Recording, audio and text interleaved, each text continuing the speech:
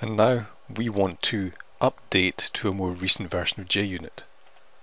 So the first thing we have to do, I'm just going to head off to JUnit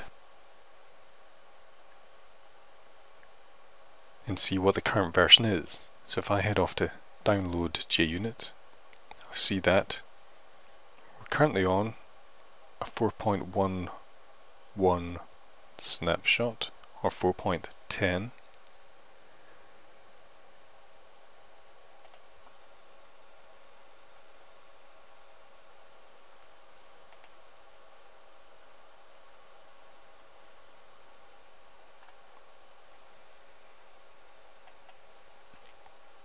So I am going to update this to 4.10.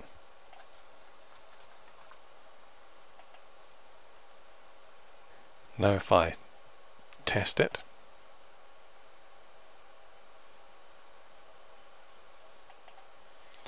everything is run and that seems fine. And this is how we'll work in the future. All we'll do is update the version in our POM file for JUnit or Selenium or any of the other dependencies we have, and then we will be up to date when we run our project.